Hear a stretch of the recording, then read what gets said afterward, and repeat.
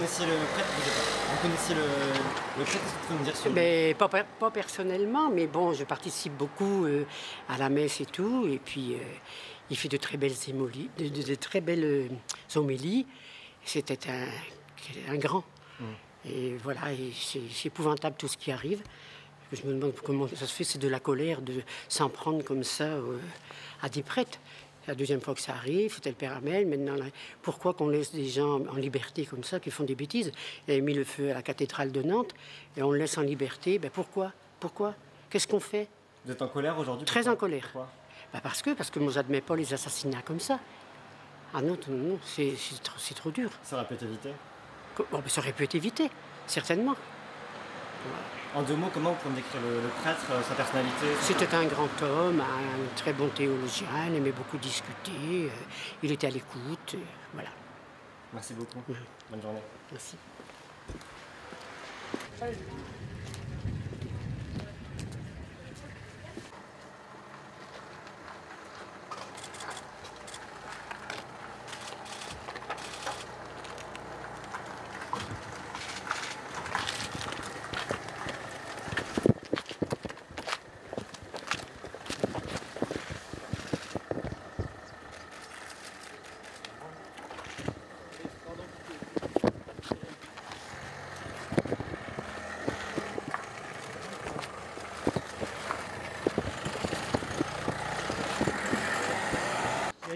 Conférence de presse de prévue Pardon Conférence de presse de prévue Il y aura une conférence de presse à la brigade de Mortagne.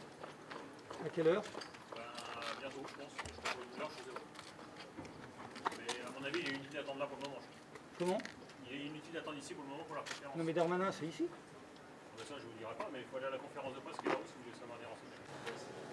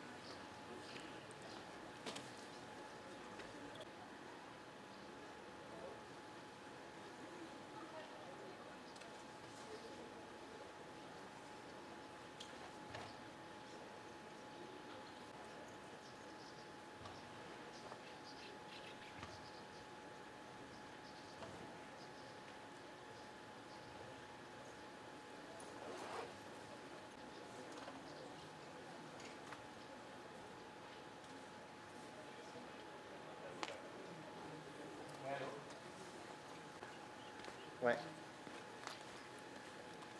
Large. Ok, on va rester en large. Ouais, je comprends. Ok, bah on reste en large. Merci. Voilà, en tous les cas, le père euh, Olivier Maire est quelqu'un que j'appréciais beaucoup. Hein, je- donc depuis peu longtemps, il n'y a que trois ans que je suis en Vendée, mais euh, j'ai eu l'occasion de le rencontrer plusieurs fois et c'était vraiment un homme de cœur, un homme très généreux.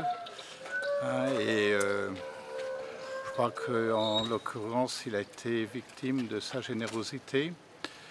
Voilà, et je, je crois qu'aussi il ne faut pas tirer trop vite de conclusions. hein. tout semble s'orienter vers euh, donc celui qui l'a assassiné semble bien être quelqu'un qui a des difficultés euh, psychiatriques. hein, euh, voilà. C'est une tradition dans les communautés de religieux d'accueillir ceux qui sont en difficulté. Voilà, c'est dans la ligne de l'évangile. À chaque fois qu'on se met au service des autres, qu'on va au secours de ceux qui sont en difficulté, eh bien on s'expose. Hein, mais voilà, le premier qui l'a fait, c'est Jésus. Donc euh, c'était un homme spirituel, euh, le père Olivier Maire, est tout à fait dans la ligne de, l'évangile et à, et la suite du Christ. Voilà, sinon, pour le reste, ben, ce sera euh, à l'enquête de déterminer, déterminer les, les circonstances et les causes. Voilà, je crois que pour l'instant, le, le mieux, c'est de rester discret et de euh, être proche de ceux qui sont dans la peine. Bien sûr, d'abord euh, la famille euh, du père Olivier Maire et puis sa famille spirituelle, hein, des pères Montfortin et la grande famille de ceux qui ont été fondés donc, par Louis-Marie Grignon de Montfort, hein, donc, mort ici à Saint-Laurent-sur-Sèvre. Hein, donc non seulement les Montfortins, mais les filles de la sagesse et les frères euh, Saint-Gabriel. Et, et comment le diocèse de Luçon peut rendre hommage justement au père Olivier Maire? Bien, en s'unissant à ceux qui sont dans la peine et en priant, bien sûr. Hein, et, euh, mais de fait, hein, je crois qu'on peut exprimer notre reconnaissance. C'était quelqu'un d'attentif aux besoins du diocèse et avec qui on était en très bon terme, en dialogue pour, euh, en particulier, euh, euh, gérer ensemble, je dirais, ce lieu de pèlerinage. Oui. Est-ce que plus largement pour l'Église aujourd'hui, c'est pour l'Église même de France, c'est un jour difficile Bien sûr, hein, bien sûr, c'est un jour de peine. Euh, voilà, en même temps, nous sommes dans l'espérance. hein. C'est un homme, donc le père Olivier Maire, qui a toujours vécu dans la fidélité à l'Évangile. Et donc notre espérance, bien sûr, c'est de nous retrouver tous un jour euh, avec lui hein, euh, dans le ciel. Mais ça n'empêche rien l'aspect tragique hein, de sa mort et de la peine d'aujourd'hui. hein. Pour moi, c'est vraiment un ami que je perds. Oui, c'est un homme euh, qui était qui avait grand cœur, euh, qui était très ouvert, euh, très bienveillant, hein, très accueillant à chacun.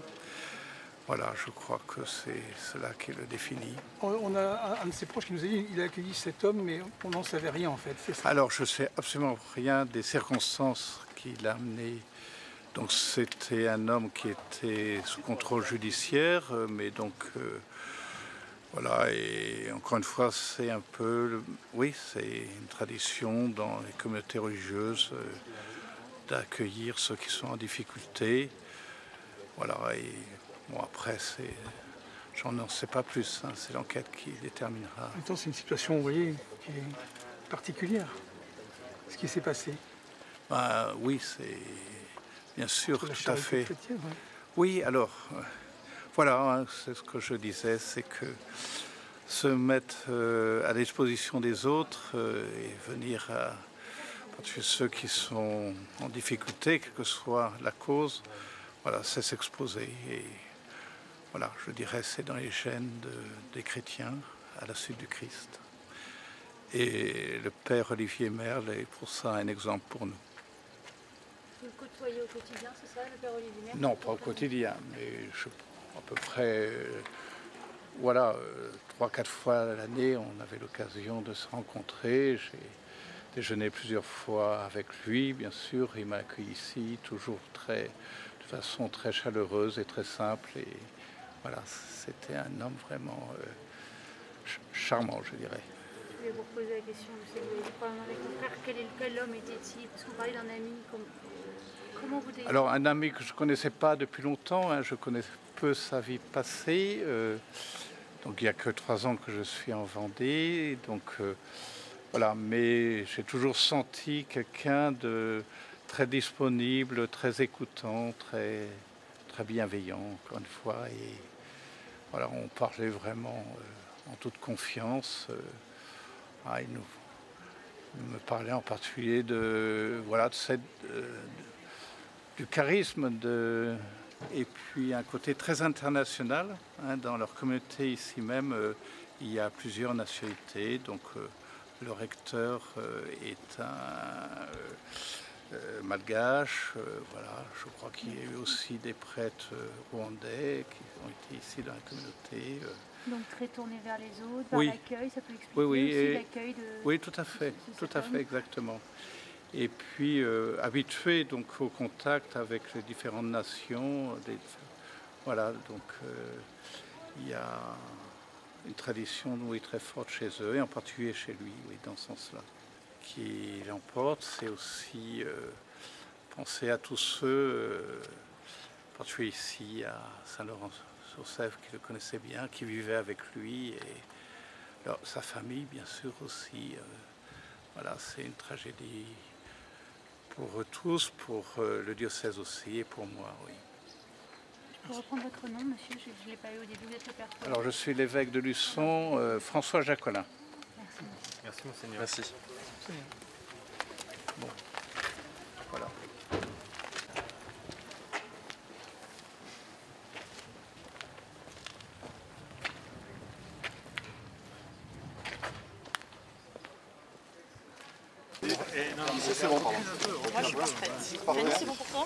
Plus bas les micros et on perche par le bas, s'il vous plaît. Je gêne si je suis là Si ça va, pour l'instant,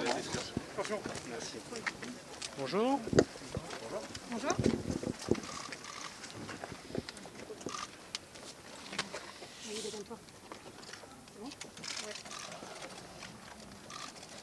Bien, je, suis venu au nom du président de la République euh, et du gouvernement de la, République présenter mes condoléances à la congrégation et à ce beau département de, la Vendée suite euh, manifestement à l'assassinat d'un prêtre de cette congrégation. Leur dire en tant que ministre en charge des cultes quelques jours d'une grande fête euh, catholique, nous pensons à eux et que s'en prendre à un prêtre, s'en prendre à un homme d'église, c'est toujours s'en prendre à l'âme de la France. Et j'ai voulu marquer, euh, à la demande du président de la République, qui m'a chargé d'un message de fraternité, de soutien et d'amitié, dire à quel point nous pensons et nous voulons que la vérité soit faite sur cet acte odieux. Je vous en prie si vous avez des questions. Il y a une polémique, bien évidemment, l'a vu, sur les réseaux sociaux. Euh, cet homme, on est d'accord, il ne pouvait pas être envoyé dans son pays, contrairement à ce qui a été euh, dit par beaucoup d'élus, notamment de l'opposition.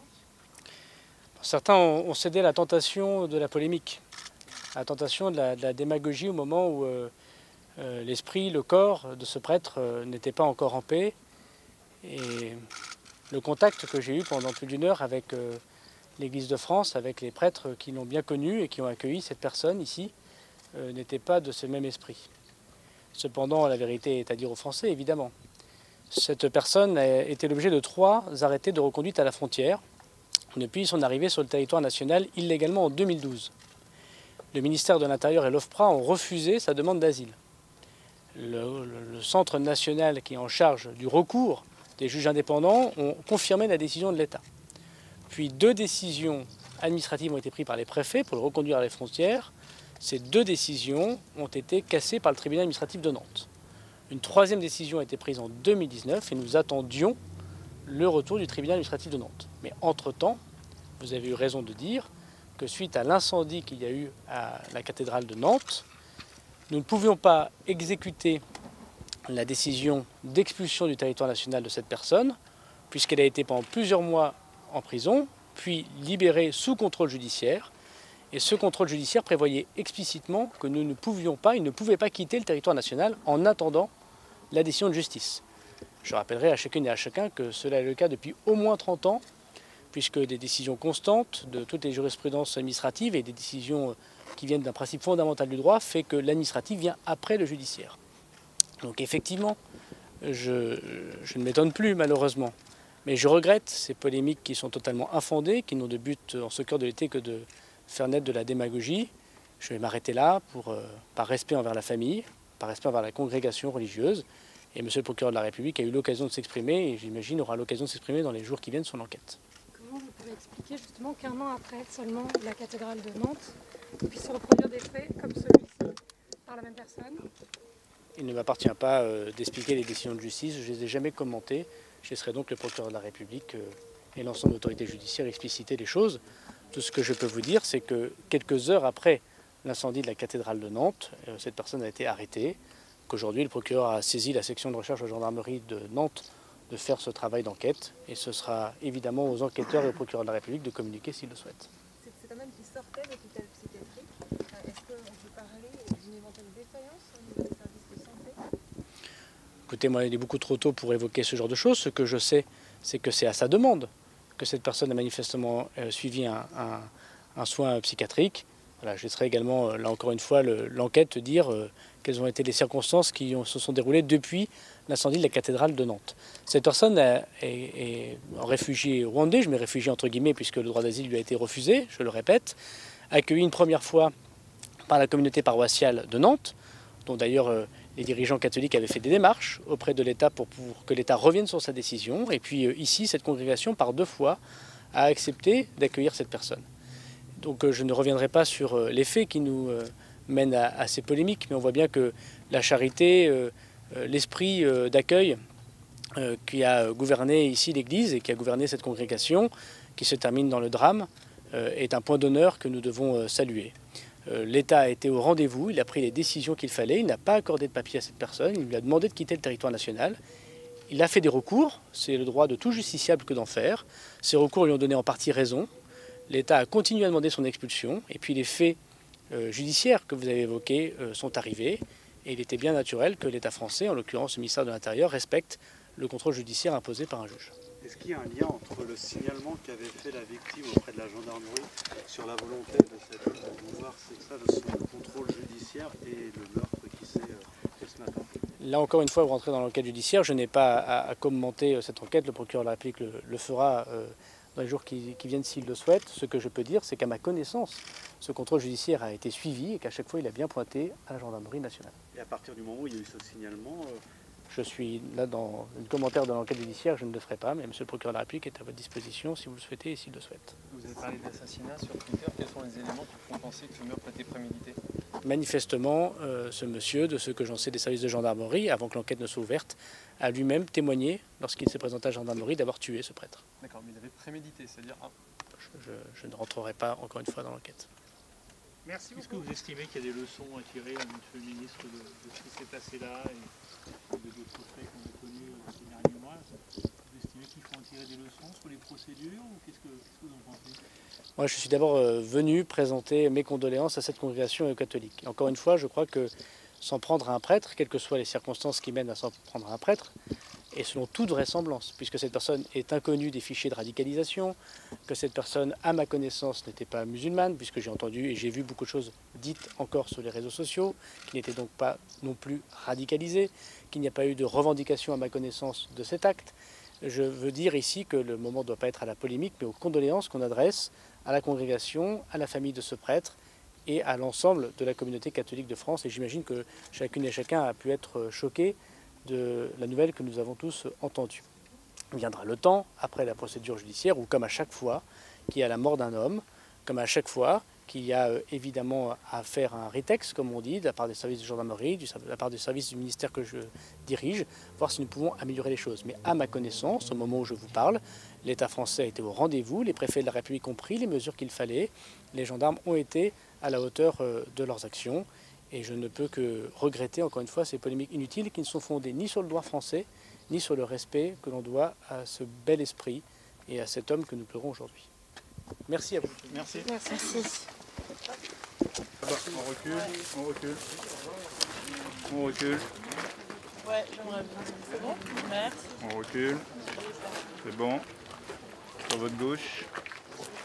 On recule.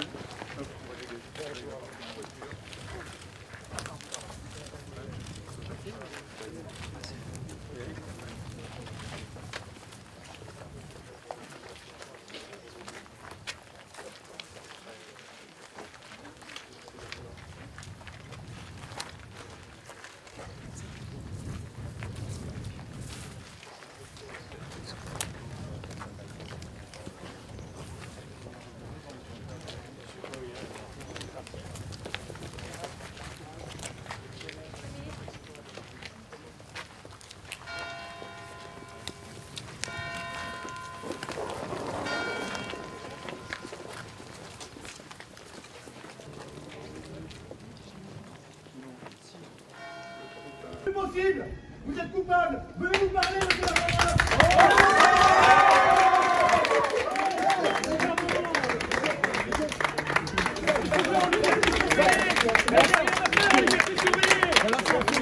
Il y a un mec qui va pourrir ce pays Non.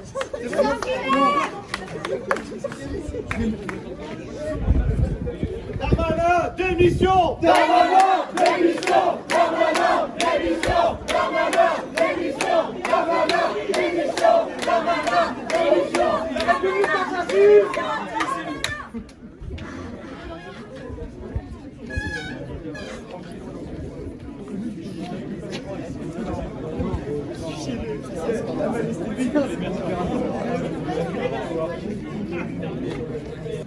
Est-ce que vous pouvez m'expliquer euh, en deux trois mots pourquoi vous êtes ici aujourd'hui Euh, Je suis là parce que je suis révolté, je suis Saint-Laurentais, madame, et en fait, euh, j'ai appris ce matin effectivement euh, le meurtre et l'assassinat de ce prêtre qui n'avait strictement rien fait.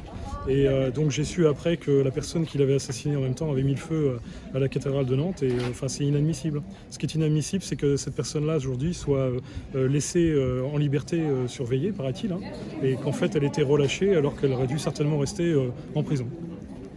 Vous aviez un message à dire à Monsieur Darmanin, vous auriez aimé le croiser Oui, absolument. Alors c'est bien dommage que je ne l'ai pas croisé, mais je crois qu'il a une bonne force de sécurité autour de lui. Euh, donc euh, pour, autant, euh, pour autant, je pense qu'il il laisse ce pays partir en vrille, euh, pour une femme, à mon avis, hein, c'est personnel. Et, euh, et je pense qu'il devrait être un peu plus, euh, enfin serrer un peu plus les vis sur un certain nombre de choses, en fait, clairement. quoi. Voilà. Vous avez quand même essayé de l'interpeller? Oui, mais je ne l'ai pas vu. Je l'ai pas vu. clairement. Pas là quand vous avez. euh, Non, parce qu'ils le- sont enfermés à l'intérieur donc, du cloître, et en l'occurrence, ils y sont encore aujourd'hui, euh, enfin encore maintenant à l'instant. Donc euh, voilà, je ne sais pas s'il sortira par là, mais c'est peu probable, parce qu'il y a d'autres sorties. Vous connaissiez le prêtre euh, qui a été assassiné? Non, pas personnellement, mais par contre, je connaissais, enfin, j'ai eu l'occasion de croiser trois fois l'assassin qui était ici sur ce secteur-là, puisque en fait, il a été accueilli, ou, euh, paraît-il, par les pères Maufortin. Euh, et euh, voilà, je, je l'ai croisé déjà dans cette petite ville trois fois de suite. ouais. Et vous le connaissez un petit peu ou c'était juste euh, le croiser euh, dans Non, non, je l'ai croisé comme ça, effectivement. D'accord. Je- Est-ce que vous pouvez m'expliquer euh, ce que ça représente pour vous d'être ici aujourd'hui? Bah, Pourquoi vous êtes venu? Je suis habitant euh, de Saint-Laurent. Euh, vu, ce- vu le- la dramatique, euh, le dramatique euh, assassinat qu'il y a eu, euh, donc ça interpelle quand même. On est ici à un bourg quand même qui est relativement calme, donc euh, voilà, on est présent pour, euh, pour assister un petit peu à, aux événements. Est-ce que vous connaissiez la victime éventuellement? Non. Non? Comment est-ce que vous avez Je suis appris la nouvelle de Saint-Laurent, mais la victime, je la connaissais pas. Comment est-ce que vous avez appris la nouvelle? Par euh, les médias, hein, ce midi, par les médias. Vous étiez ici aussi parce que M. Darmanin venait ou Pour les deux, voir un petit peu l'ambiance euh, générale, comme il y a tous les médias, et aussi pour voir le ministre, que- voir un petit peu, mais a priori, euh, il est très difficile à, comment dirais-je, à, à apercevoir à- voilà, à être aperçu. ouais. vous, euh, vous aviez quelque chose à lui dire en particulier ou c'était vraiment Non, pas particulièrement Non, c'était vraiment. euh, Personnellement, bon, euh, c'est vrai qu'actuellement, il, est- il a pas une popularité extraordinaire. hein. Donc, euh, c'est peut-être aussi pour ça qu'il veut éviter euh, tout contact. hein. Vous êtes en colère par rapport à ce qui s'est passé? Oui, oui, quand même. Vous pouvez m'expliquer pourquoi? Bah, c'est dramatique. C'était le fait que ça soit que ça soit euh, une euh, personne qui était déjà euh, mêlée à l'incendie de la cathédrale de Nantes, qu'il est resté en liberté. Comme me disait euh, Philippe de Villiers, euh, il aurait fallu tout de suite qu'il soit extradé. Quoi. Pourquoi, pourquoi l'a-t-on laissé en liberté? Voilà ce qui arrive. Il y a de la colère, mais il y a de la tristesse aussi, j'imagine. Il y, a, il y a les deux, oui, bien sûr.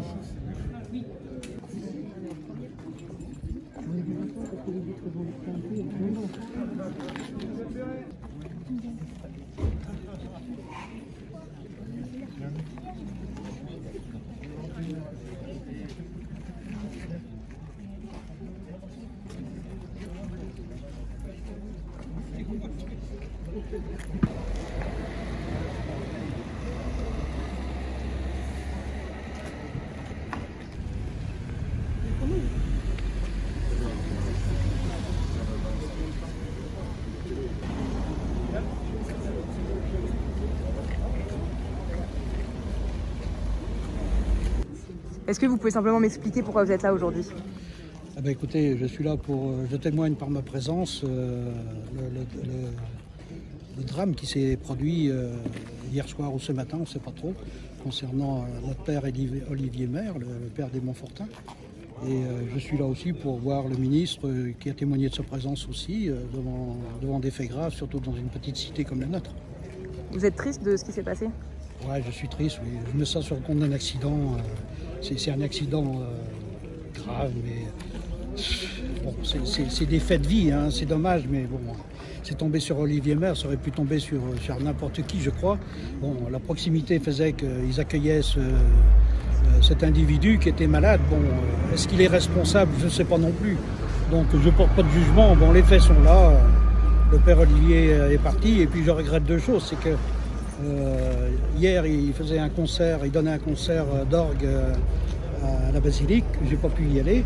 Et demain soir, j'avais rendez-vous, enfin, on avait rendez-vous avec lui pour visiter un, bâtiment, la Maison Longue, là où a été créée la congrégation des Sœurs de la Sagesse. C'est lui qui devait nous, nous présenter les locaux et nous expliquer. Voilà, rendez-vous loupé. Donc, ben, je, je regrette pour tout ça. Je suis triste pour ça, mais bon, qu'est-ce que vous voulez C'était pas un membre de ma famille, mais c'était quand même un personnage important de Saint-Laurent. Saint-Laurent-sur-Sèvre a eu Jean-Paul II, que j'ai eu l'honneur de, enfin, de- de serrer la main ce jour-là quand il est venu. C'est la ville sainte de la Vendée, c'est- Saint-Laurent, et ça marque un fait. Tuer un prêtre à Saint-Laurent, c'est quelque chose, c'est un drame. Euh, C'est une certaine reconnaissance que le Premier ministre vienne euh, vous rendre visite Ouais, aujourd'hui? pour, pour moi, oui, c'est une reconnaissance. Oui.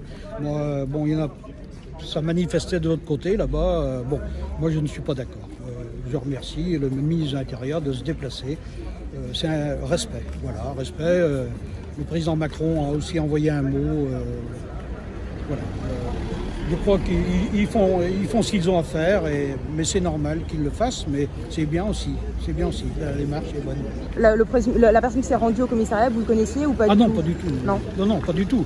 J'avais vu simplement dans les journaux qu'il avait mis le feu à, à la cathédrale de Nantes, c'est tout. Il avait fait brûler une partie de. Donc ce, ce garçon, il est- était pas très bien dans sa tête. hein. Bon, est-ce qu'il aurait dû sortir euh, des soins? Je sais pas. Pourquoi il était là? Je sais pas. Mais voilà, ça s'est produit. Bon, les Montfortins avaient l'habitude d'accueillir euh, les pauvres, euh, euh, que ce soit en esprit ou enfin bon voilà. Ils n'ont peut-être pas les moyens d'être à la hauteur de leur, de leur vocation aujourd'hui, hein, d'a- d'accueillir comme ça n'importe qui. Parce que des gens comme ça, il faut vraiment s'en occuper et être proche d'eux. Voilà. C'est peut-être aussi un, des problèmes qu'ils devront, mettre en place, qu'ils devront résoudre encore à l'avenir.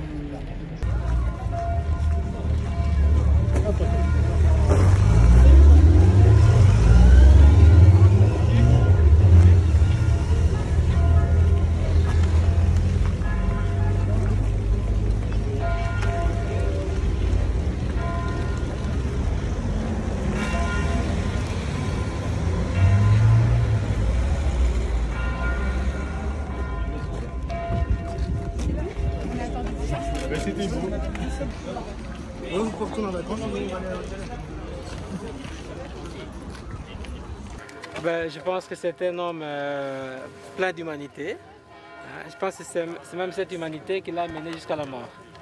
C'est-à-dire? Bah, ça- ça- C'est-à-dire que, comme de- dernier témoignage, je peux donner, euh, jeudi dernier, il m'avait demandé de- d'accompagner Emmanuel. Donc, Emmanuel, c'est celui que nous, que nous avons hébergé. Euh, il m'a demandé de l'amener à la, à la polyclinique de Cholet. Euh, et puis, euh, mais en même temps, entre-temps, lui, il est parti aussi avec lui chez un autre médecin, quelque part ici à, à, Saint-Laurent. Et quand ils sont rentrés vers, euh, vers 17h, il est venu chez moi pour dire, mais est-ce que Père Jean-Baptiste, tu peux aller avec Emmanuel à, à Cholet avant, avant 19h au laboratoire? Et si jamais il y a des dépenses à faire, ben, vous payez, tu payes et puis tu, euh, oui, on s'arrange quoi. Qu'est-ce que. Hein? Je pourrais m'attendre à tout sauf, euh, sauf à la mort. hein. Et bon, c'est quelqu'un que nous avons euh, hébergé ici depuis déjà un temps. Euh, bon, que ça se passe, que ça arrive comme ça, vraiment, c'est c'est sans parole, quoi. On n'a pas de mots à expliquer, c'est juste le choc. On pouvait s'attendre à tout, sauf ça. Dans quel cadre il est arrivé ici euh, qu'est-ce que vous pouvez nous dire de lui son prénom comment, comment il est arrivé ici, Emmanuel Ben, il, est, il est arrivé ici, euh, je ne sais pas comment, mais c'est le père Olivier, lui-même la victime en fait. C'est lui qui vient nous demander si, euh, euh, si nous sommes d'accord que de, de berger Emmanuel. Parce qu'on lui a demandé. Bon, je ne sais pas comment la loi fonctionne ici. Quelqu'un qui est mis en examen, est-ce qu'il y a un temps pour il peut aller dans une résidence Donc il est venu chez nous. Euh, Il faisait quoi, Emmanuel il faisait rien, il faisait rien. Il mangeait, il, il participait à l'Eucharistie. Euh, bon, les dernières semaines, je voyais quand même qu'il il- il- il travaillait. Par exemple, euh, il m'aidait à moi, il m'aidait pour euh, ramasser la poubelle le jeudi. Est-ce que vous discutiez avec lui, avec Emmanuel? Euh, bon, difficilement parce qu'il entend, il entend, euh, il entend, il entend mal. Hein, mais sinon, ben, quelquefois il parlait, il posait des questions. Euh, il posait des questions vu qu'il a besoin de quelque chose. Et puis, ben, si on, on pouvait lui donner, euh, lui rendre des services dans ce sens. hein. Mais pas vraiment dans sa vie, euh, sa vie intérieure ou bien sa vie, euh, sa vie personnelle. Mais globalement, l'hébergement se passait bien, il n'y a pas de tension. Oui, ben, il n'y avait pas de problème. Non, il n'y avait pas de problème. hein. Donc on mangeait, euh, on mangeait en- en- ensemble à table. Il n'y avait pas de problème.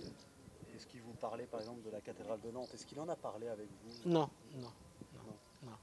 Vous aviez senti Ben, nous, nous, on savait, on savait ce qui s'était passé, Oui. mais ce n'était pas des, des sujets où on discutait euh, avec lui. il y avait une animosité particulière avec le père Olivier ou qu'est-ce qui s'est Non, ben, ça m'a- ça m'étonne parce que c'est Olivier encore qui était le plus proche, hein, le plus proche de lui, euh, qui s'occupait de lui en tout, qui le prenait en charge vraiment, qui lui demandait est-ce que vous avez besoin de quelque chose, est-ce qu'il vous manque quelque chose? C'est Olivier. C'est Olivier qui l'a amené jeudi dernier chez le médecin, ensuite c'est c'est moi aussi, mais je ne sais pas. C'est une surprise. Il était sous la responsabilité du père Olivier en fait Bon, ce n'est pas vraiment sous sa responsabilité, mais dans le sens que ben, Olivier, c'est le supérieur de la maison. C'est lui qui a dit oui pour qu'il vienne chez nous. Hein, dans ce sens-là, oui, je dirais. Donc c'est de l'incompréhension, hein, vous entendre. Vous ne comprenez pas ce qui s'est passé. Pourquoi on est... Nous ne savons pas ce qui s'était passé entre hier et ce matin. Qu'est-ce qui s'est passé?